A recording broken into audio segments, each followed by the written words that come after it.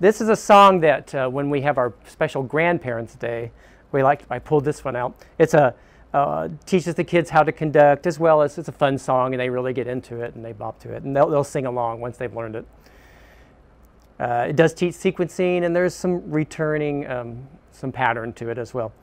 Um, you can adapt this to your local thing and you don't have to use the song we learned, it's just the idea. These are just hand-drawn uh, pictures for Kansas and uh, pictures that go along with the lyrics of the song. Jayhawk, that's, a, that's what we're called from Kansas. And then these are Kansas symbols, the cottonwood tree, the meadowlark, the western meadowlark, the uh, wheat, because Kansas is known for its wheat, and then the sunflower is the state flower. You could use whatever song locally, and you can make your own pictures of your own symbols. Right, so after I've gone through the song a few times, sh uh, showing the students the pictures, then I'll lay them out. Sometimes as I'm singing, sometimes I'll lay them out and then sing. And then we start like this.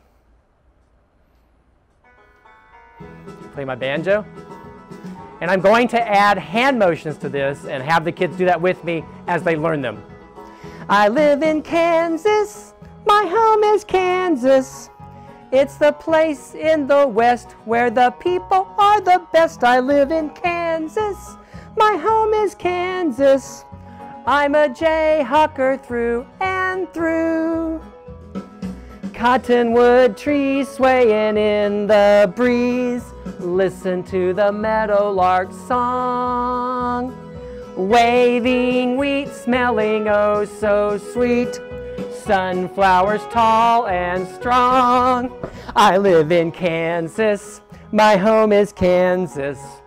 It's the place in the West where the people are the best. I live in Kansas. My home is Kansas.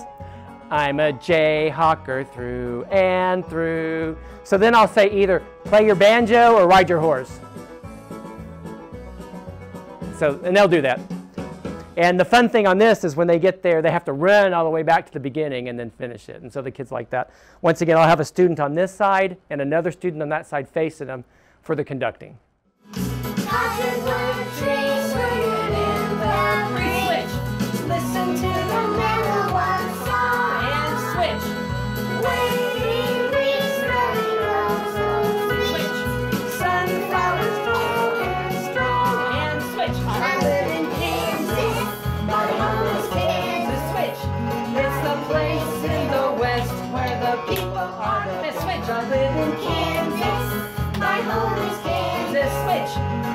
the.